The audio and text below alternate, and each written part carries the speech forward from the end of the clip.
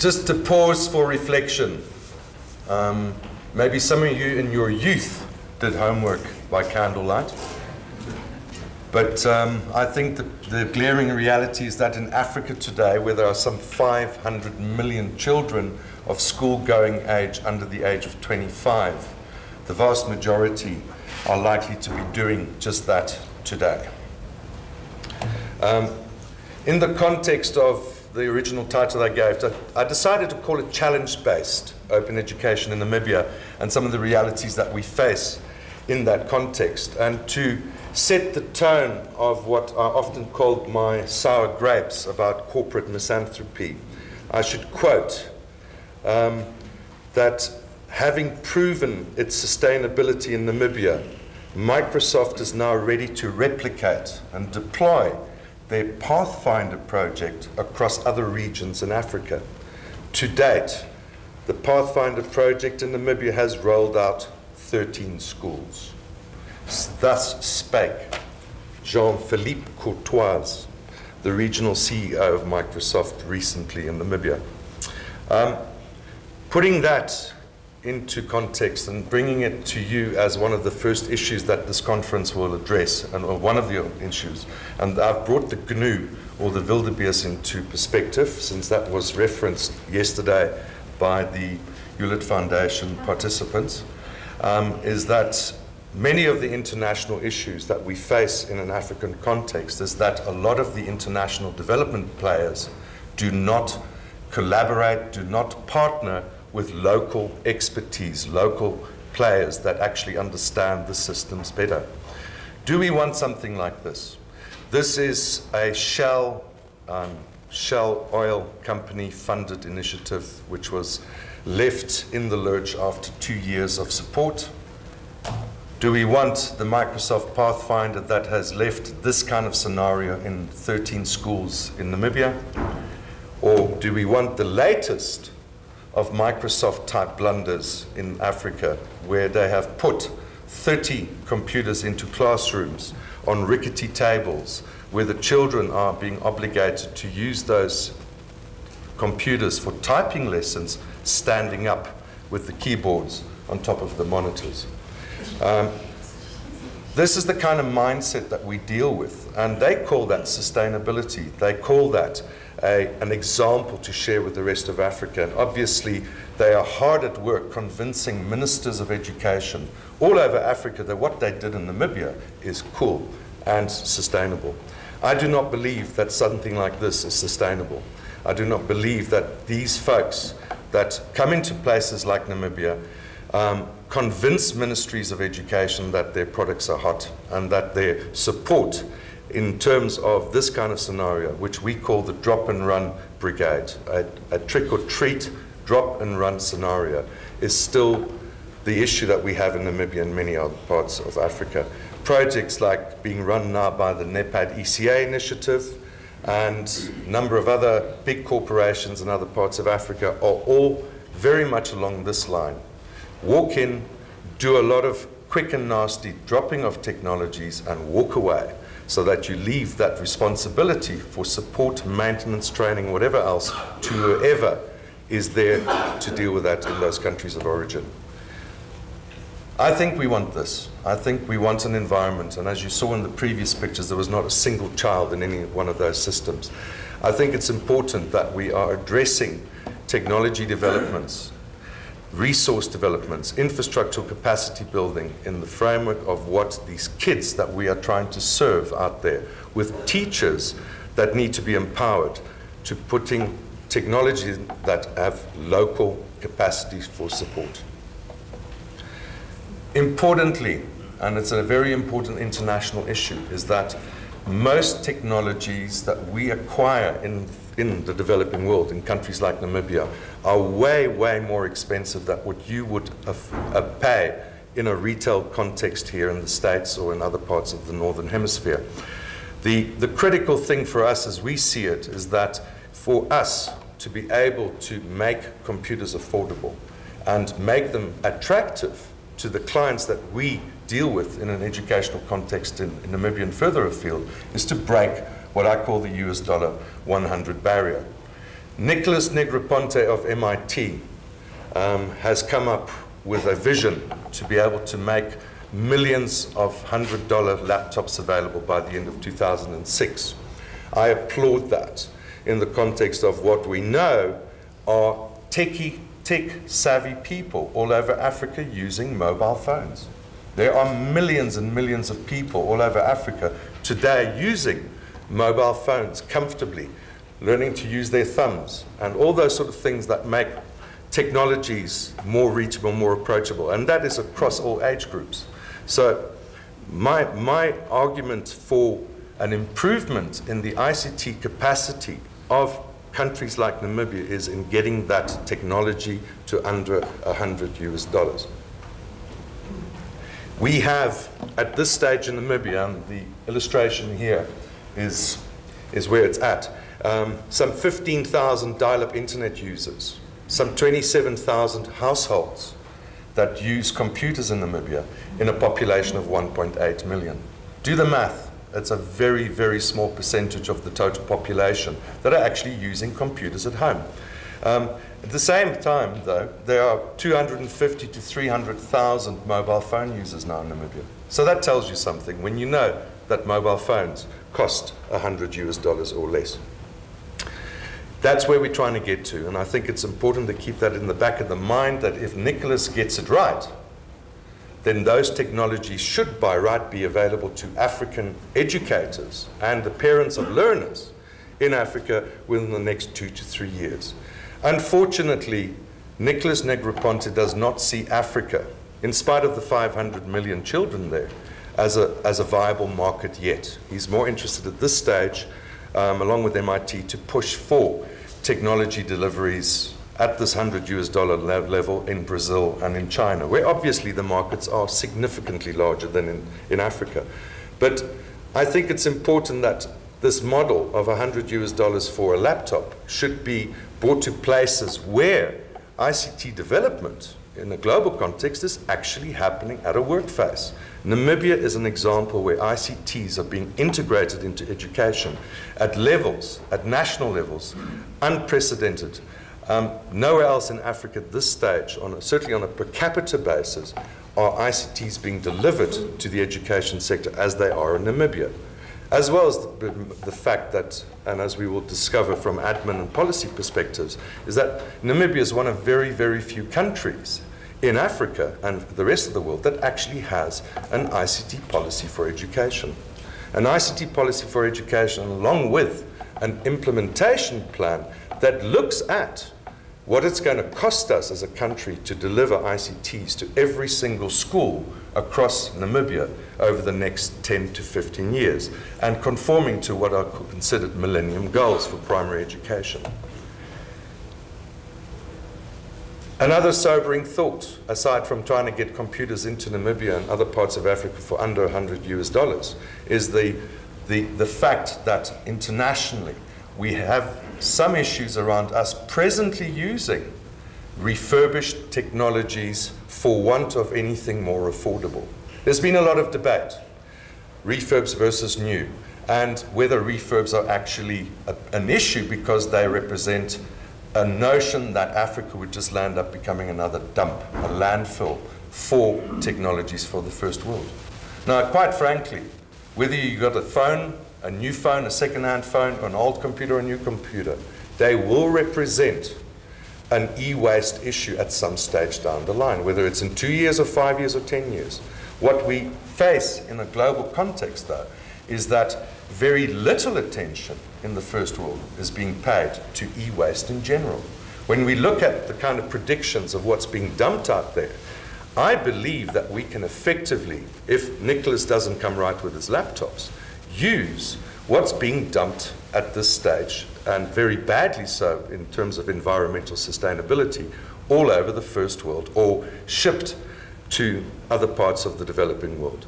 And I think at this stage, while we wait for the $100 laptop, we can comfortably embrace refurbished technologies or technologies that are second-hand, shipped to countries like Namibia and refurbished locally with local expertise and made available for an extension of life in schools for two to three to four years at which stage they should be returned to source.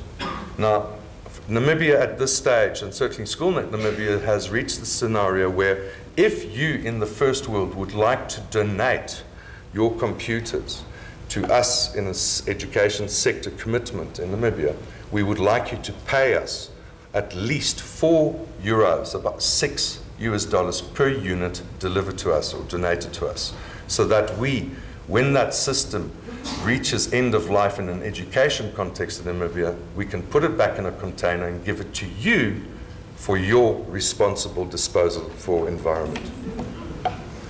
Bottom line here is that most first world consumers, and certainly those of you that have European experience, are already confronted by the fact that some 60 euros, probably about 80 US dollars, is already entrenched in the cost price of that piece of computer equipment that you acquire in Europe, which is supposed to be put aside for the disposal of that computer equipment.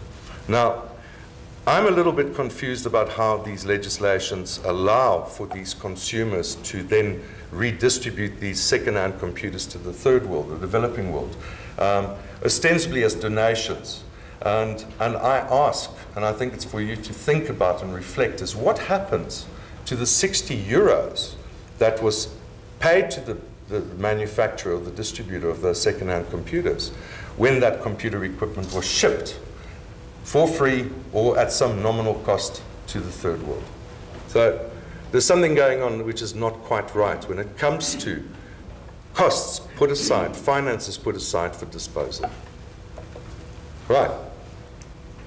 Having given you a little international flavor and around the issues that face us in development of ICTs in Namibia, let's get on to some ICT policy situations in Namibia. And as I said, we are one of the few countries with a policy.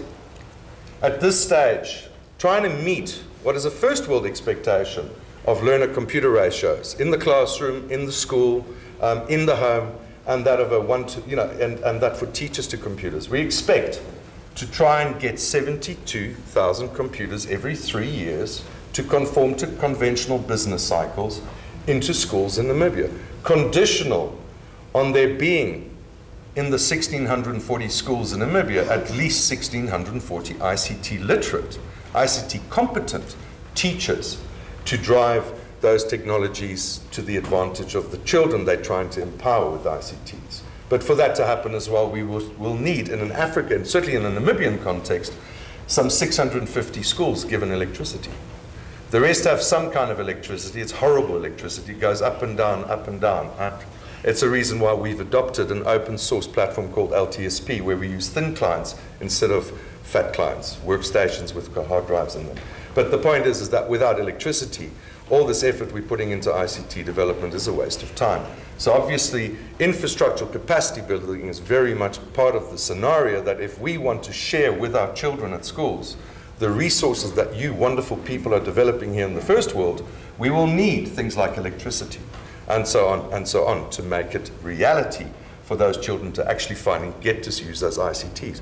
Unless, of course, some of you come up with some very smart mobile phone interfaces that allow mobile phones to become an extension, last mile, last centimeter extension of ICT development in developing countries.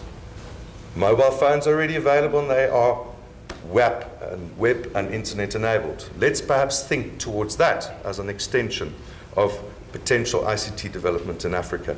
Um, we will need consistently more and more decentralized and localized technical service capacity to support the schools that acquire these technologies. And in terms of what we call a total cost of ownership, which I'll give you some ballpark figures on shortly, it's important to understand that in Namibia, we have already secured a less than US dollar 50 per month total cost of ownership in terms of service model that provides not only internet, but technical support, maintenance, training, replacement, repair, and whatever else it takes to keep those ICTs rolling in those schools.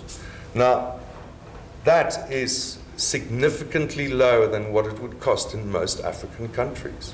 Part of that bundle, however, and which is at this stage one of the only countries outside Egypt, which is a government driven model, is the only country in Africa that now has a 24 7 flat rate internet solution for schools countrywide, irrespective of the medium, be it wireless or landline, copper, whatever.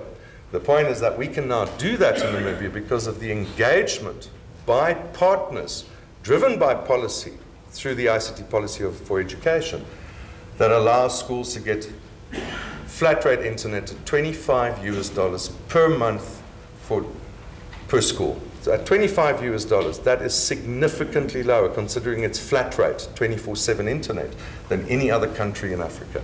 Ghana, for example, you have to pay US dollar 55 for the internet service over and above telecom costs for dial on demand. So obviously, in having secured that as part of a policy implementation plan in partnership with what are currently telecommunication monopolies in, in Namibia, we believe that we're on the right track to putting in place affordable solutions which even very disadvantaged, very underserved schools in remote rural areas of Namibia can afford.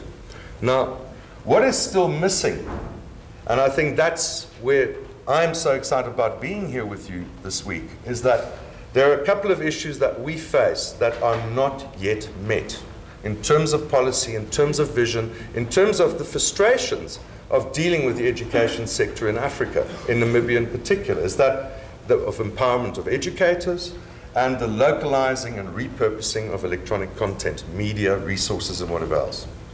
That little price tag at the bottom, US dollars 120 million, is the current prospectus, projected budget to deliver 72,000 computers and the capacity around it to schools every three years. It's based on a model delivered in Jordan.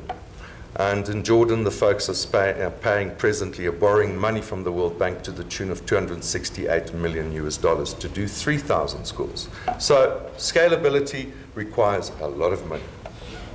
Now, in an ICT development matrix, as I've put together here, um, it's important to realize that SchoolNet Namibia has addressed and tried to address through partnership with stakeholders in in private sector, in the industry, in public sector, and through international partners like the Hewlett Foundation and others, a solution that is fairly diverse in what it's trying to tackle in getting ICT empowered youngsters through our schooling system. Now, in all of this, I can talk for hours on all and every one of these different things that we have championed as a civil society organization in Namibia. But I think it's important that we address those three areas that are still weak in the context of where we're going today with this implementation plan for ICTs. First of all, ICT competency and the, the paradigm of how we should be addressing ICT competency not only in teachers but in the youngsters as well, the kids that go through from grade 1 through 12. But where we are trying to now, as a civil society organization, push the education sector and the, the formal sector is to engage in the idea that foundation and integration skills in ICT competency require some kind of localization that makes it exciting for the educators and the learners in Namibia, and importantly, to meet a cultural requirement, some kind of certification that makes you feel good about yourself in the context of you maybe being able to leave that environment with some piece of paper saying, yes, I am competent in ICTs. So obviously certification we see as a very important incentive. How it is developed in terms of an education system is up to the education, the formal pedagogues, the, the, the, formal sector to decide how they do that. And there's a lot of debate presently as to whether they should be developing coursework for grade 1 through 12 or come up with some sort of ICDL, International Driver's License model, that says that whenever you feel you're ready to get these foundation and integration skills, you're ready to write the exams and pick up your certificate if you pass. So there's quite a lot of interesting debate of how to address competency and the way to measure, evaluate, and then obviously certify those kind of people. The other glaring issue that we have in Namibia and all over Africa is obviously infrastructural capacity, as I've pointed out earlier, but also bandwidth. Bandwidth, bandwidth, bandwidth. It's a fundamental problem right across the continent. We are paying way, way too much to gangsters in the first world for broadband access. And quite honestly, if we are going to scale up internet access, which is so important to what you folks are doing with content today, we're going to have to collectively through the World Summit for Information Society, the United Nations ICT Task Force, and other major players, the foundations like Hewlett and Ford and whoever, the Kellogg Foundation, whoever has the capacity to pick up the phone and speak to Kofi Annan and say, Kofi, it's time to talk to Bill. And convince him that you and the rest of the monopolies around corporate commitments to ICTs that include birds in the sky, and fiber running around the continent of Africa, and the bandwidth that goes along with that should be given in the context that Africa is seriously disadvantaged, seriously underserved, and that there must be some philanthropy around that ICT delivery in an African context. Schoolnet Namibia on its own cannot stand up and yell at the International Telecommunications Union and say, you are ripping us off in Namibia. We need a collective effort by countries in SADC, in the Southern African region, the all of sub-Saharan Africa, to shout and say that we are paying between four and ten times more than the average household in the United States or in Sweden is paying for the bandwidth that we have available to us today. So scale depends entirely now on the first world coming to the table with realistic pricing for international bandwidth. Right, overcoming local barriers, and they, I'm bringing some new perspectives to that. Um, SchoolNet has, over the six years that it's been around, um, done a hell of a lot. We've done, we've diversified. In fact, we've stretched ourselves quite thinly on the ground at times to meet so many of the what we believe are obligations to the young people that we serve around schools in Namibia. And that comes around to what we are doing and what we have been doing in the past. In the past, we did a lot of things.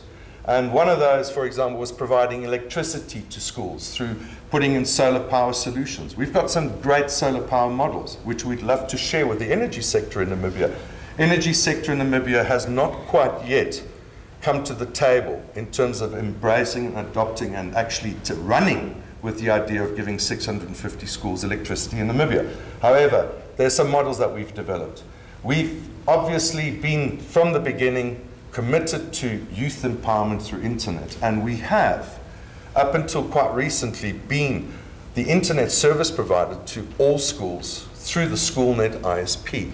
That's been given to what is now called the XNet Development Alliance, which is a foundation sharing cost and commitment between SchoolNet and the telecommunication monopolies, state-owned monopolies, and they have committed a serious amount of money towards the school internet solutions that are presently in place and are being expanded as we speak. We look at that internet solution as we provide through SchoolNet and now through XNet as a subsidy model that will ultimately see a universal service fund or an access fund become the buffer for those costs that we would otherwise expect the schools to find through paying us 165 um, rand or it's 25 US dollars a month. So from from what we have now, that's something that's become less important since we have this confidence in our telecommunications operators to carry the bulk of that responsibilities. While we are and have been a civil society with a very strong social activism component to it and, and lobbying government and lobbying industry to change their ways and to get policies to actually recognize things like open source and open standards and 2.4 gigahertz wireless internet solutions. Um, we now also have a more body neutral, uh, or more um, neutral cross-sectoral participation from different parts of through the ICT Alliance of Namibia. And I see from a civil society point of view that this ICT Alliance of Namibia will carry a lot more of this activism to convince government to change policy. So where does it leave SchoolNet? SchoolNet today still has a huge range of things to arrange, of things to do, from strengthening ICT skills with its volunteer pool, to delivering educational content through OpenLab, a software package and operating system open source developed by African Geek for African people, with our help in providing them with the guinea pigs to say what an education sector like Namibia would need. We build, install, maintain, and keep computer labs going all over the country. And we do that through satellite technical service centers and through our head office in Windhoek, the capital city. But importantly here, we are driving towards a decentralization model that we can decentralize the capacity to support schools all over the country. Um, we buy and sell and trade and make deals to get better and more affordable and more sustainably affordable solutions and quality solutions into the schools through a business model that says that if we put some margin on some of the things that we sell and, and argue for better discounting on the stuff we buy, contra going through government tender policy systems, tenders that land up in being manipulated by greedy corporate, corporates, I think we have, as part of the SchoolNet stable, a business model that says we can get affordable technologies into schools. We have a help desk. It's probably the only country in Africa where schools can actually phone a toll-free number to get a hold of somebody to say, hey, I'm having a problem with the internet, can you help me please? It's the only one in Africa. It's scary.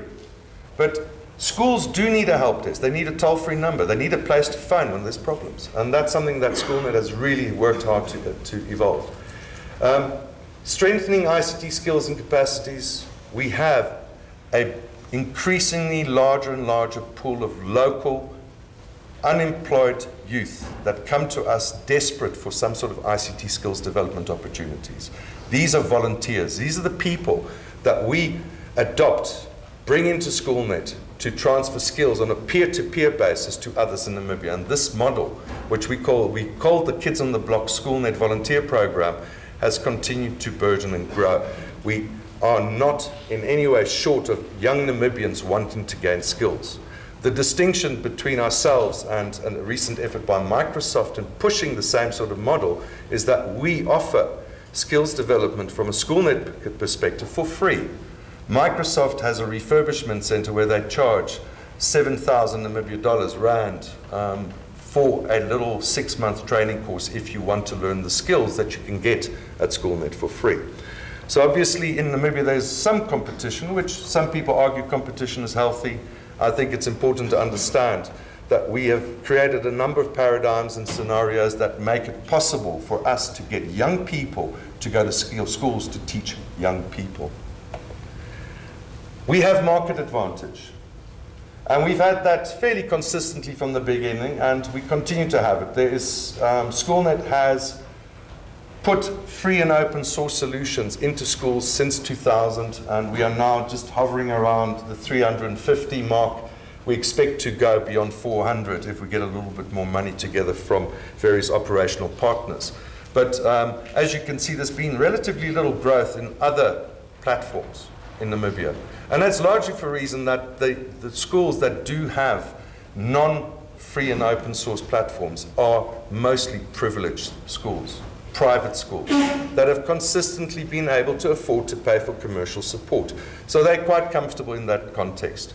The additional 26 odd schools that Microsoft has brought into underserved communities, I don't think will last, and a lot of them are coming back to us now asking for upgrades to a better platform. Young, enthusiastic, bright Namibians, mostly women, are the hub, the operational hub, the core, the, the process, the success of SchoolNet. It's not me shouting at Microsoft. It's this incredible group of young Namibians, aged between 19 and 26, that we use to deploy technologies all over the country. And we use some plain common sense and a bit of lateral thinking and making it easier for classrooms to embrace ICTs without it being a burden in terms of technical support and maintenance, and obviously in terms of how kids and teachers um, make change possible around didactic models that have conventionally been rows uh, with a teacher in front of a chalkboard to something that allows for more interactive learning and learner-based systems. The round table model is an innovation in its own right in that we use cheap shutterboard, we use second-hand um, broken down tables, as you saw the rickety tables in the Microsoft picture, and we brace those round old, old tables on top, underneath one of these round tables and provide for a resource like that that keeps our techies out of those classrooms because it eliminates one of the biggest problems we've had in schools, that is that of cabling. A lot of teachers had a tendency, when we still had them in rows, to remove cables to boil water or to charge mobile phones or do various crazy things with the cabling that was put together for those computer systems.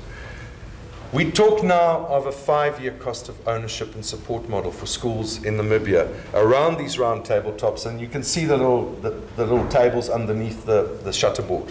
A shutterboard solution like that costs 500 rand, divide that by six, and you've got about 80 US dollars. So it's, it's not a lot of money to put a round table into a school coupled with the technologies that we deliver. When SchoolNet delivers computers to schools, it delivers modules of five at a time along with a server. A new server with a number of two hard drives, lots of RAM, um, an Intel Inside processing system processor, and a bunch of second-hand refurbished thin clients that do not have hard drives. The beauty of the thin client open source solution is that you don't need UPSs, uninterrupted power supplies, to keep those clients running on those tables. We have a UPS for the server, and if there are problems with electricity, at least we don't have the problem that so many of the fat client workstation solutions have out there, because electricity surges damage the hard drive first, and then other things subsequently. Without hard drives, it makes these systems far more effective. Now, when we deploy technologies to schools, and this is a, a, a major shift from what the drop and run brigade have been doing, is that we make sure that our development partners understand that when we put technologies into school, we don't just walk and drop it off and walk away. We provide a sense of what the annualized cost of support, maintenance, internet, electricity, and everything else that comes along is part of the equation. Now, based on some um, slightly old figures here, but I mean, the bottom line here is that, sure, a startup cost, a capital investment at a school would be about 16,000 US dollars if you've got 10 to 20 computers. We can dramatically change that. That 461.54 should be 100 US dollars or less. So obviously a server should be less if people woke up to, to pricing that is, is not affected by claimed distances between source and Namibia. But if we change that figure from 461 to 100 and look at the scalability of from 5 to 10 to 15 to 20 computers in a classroom, we accommodate the electricity requirements and other infrastructure requirements that often are not thought of when people drop computers off at school then we are looking now at a system where the initial cost of capital investment is a very small percentage of the total cost of support over three to five years. SchoolNet is into three to five year support models. We provide them with everything over that time, and that is factored into this model, which includes annualized costs, and we make very, very sure that schools pay some part of this in terms of a service fee. Nothing is for free. Service, if you want it, is going to cost you some kind of money. But this is the model that we've now used with the Global eSchools and Community Initiative to submit some new reality around what it costs to put computers into schools and give them internet over three to five years at the summit that's happening in Tunisia later this year. What is it about SchoolNet? What is it about OpenLab? OpenLab it's not just a computer system, second-hand computers. It's, it's not just a free and open source software, but it's a whole range of things that is often overlooked in what we deliver. When we start talking Open Lab, and I've got a new live CD here for those that want to burn it and rip it, um, is that we provide not just computers and software. We provide a whole range of services. And I believe that in an African context, a SchoolNet Africa model that SchoolNet should be delivering a range of different solutions. Service, maintenance, repair, you name it, as part of the bundle. And somebody's going to have to pay for that, be that government or the World Bank or development partners. But somebody will have to pay for that and, and realize that these are the fundamental issues. Right. An important step forward that we believe we've taken in Namibia is shifting the free Libre open source market paradigms. We are not selling you a Ferrari or a Porsche with some gorgeous woman standing next to it saying this thing is faster and sexier and whatever else than the next model down the road. We are looking at a reality in Namibia, and I think it's a reality that we must heed all over Africa, that we need to make people understand that open source is no different to any of the other proprietary solutions, that it's no big deal to use an open source solution and that an open source solution uses control C and right click and all the same sorts of things that you are familiar with as a teacher if you've had some access exposure to alternative proprietary solutions. So obviously first and foremost positive reinforcement of the fact that there's no real difference between these platforms. There's interoperability. It's not a big deal anymore. But then importantly, we've got to realize that 75% of the teachers in Namibia and most of Africa are women. And here I am, an old white bloke, talking about marketing to women. And I think that's probably a fundamental flaw in the industry altogether. It's mostly old white men trying to market product to young men. And they've missed the boat completely when it comes to the education sector. In Africa, the education sector is mostly women. They are mostly in the age groups between 30 and 55, and they are not using computers. Now, why? I believe it is the fact that we are not marketing our product properly. We're missing the boat. Because women aspire to control and comfort and trust and respect for their intelligence, embracing ICTs. Now, that is something that none of the industry players are thinking about when they market their latest Celeron or Pentium processor. And that's something that we've got to change. And that in the way that we share this knowledge around what ICTs are, we've got to keep in mind, always in the back of the mind, that in an, in an African development context, the education sector is the most likely to embrace ICTs, not the small market enterprises, not the, the little cuca shops and the little shebeens and little things that crop up all along the streets all over Africa. It's not that kind of place. It's not the telecenters. Subsistence farmers do not spend money on internet and telecenters. They spend money on development funds to put their children through education. So let's make sure that the educators in Africa are actually empowered to use those computers because that's what's missing. Teachers do not come and sit in front of computers because they're not interested. And there's something wrong, and I think it's part of that is the way that we market those resources. Now, into Haiti Comics we realized this is a comic. There is a phenomenal comic culture in, in sub Saharan Africa. People love comics. And we'd, we'd missed that. I mean, it was just one of those silly things that suddenly realized that, hey, why is it that whenever we send ma masses of manuals and documents and letters and encouragement and training sessions, face to face stuff, you name it, we don't get teachers to embrace technologies? And we realized that, first of all, the marketing was all wrong, but then secondly, is that people don't bother to read any of that stuff. They've got a 30 hour work week. They're not interested in reading great big manuals of how to use a spreadsheet.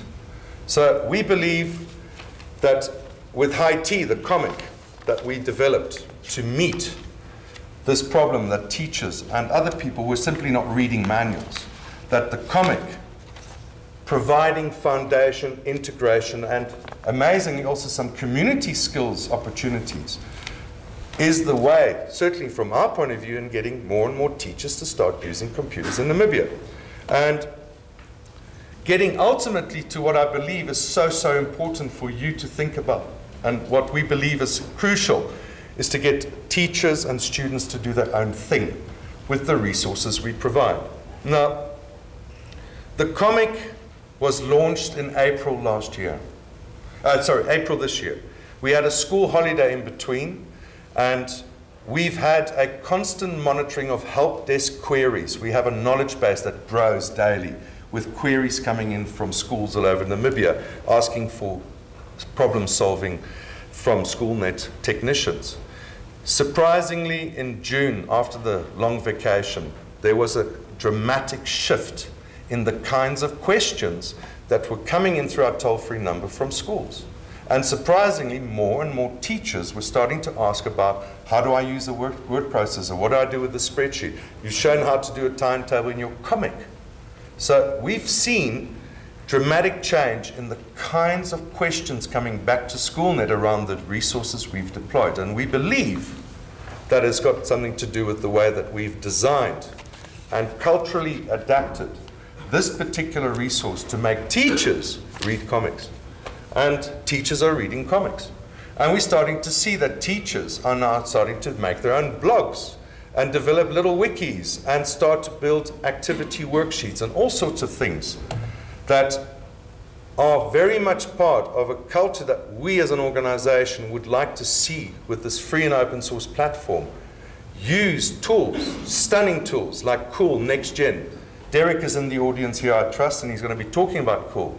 Are providing tools and resources that allow these teachers to use cut, copy, paste mentality and grab and drag and drop and do whatever else and build their own resources.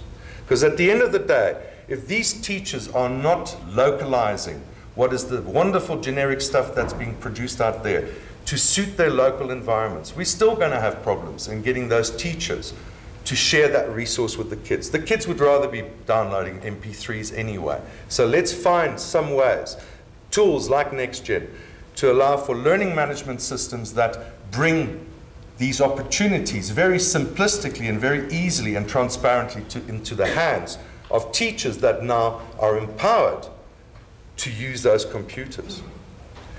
Localized activity worksheets and lesson plans were, were not available until literally two or three months ago. We put out some, some, some media, we advertised the idea that you could use computer technology, spreadsheets, word processors, and various other wonderful tools to build your own worksheets. And the result of that is that increasingly more teachers in Namibia and learners are doing blogs, wikis, but also building PDFs around very simple things. I mean, I don't know where that driving monkeys sometimes crash bakkies comes from, but a bakkie is a pickup. So it makes you think. A kid would never have understood the word pickup, but a bakkie is a bakkie. It's a word that we use in Southern Africa. So obviously, there's some, something is, is changing. And I think that's part of this culture that we've created with SchoolNet in Namibia. And we trust that it will work further afield. Whether it's a simple PDF or a Word document, or whether it's a high-tech flash solution, I believe that this open source platform that we've made available to schools throughout Namibia considering all the barriers and considering all the, the fun, fundamental problems that we have there with policy and international misunderstanding and all the rest, I believe that ultimately these teachers and these learners that get to use these ICTs justify what we've been trying to do for six years in Namibia, and we're starting to see all over Africa. Africa needs a schoolnet. Africa needs a schoolnet to provide a platform which allows you, with your content, to share your resources with them. Thank you.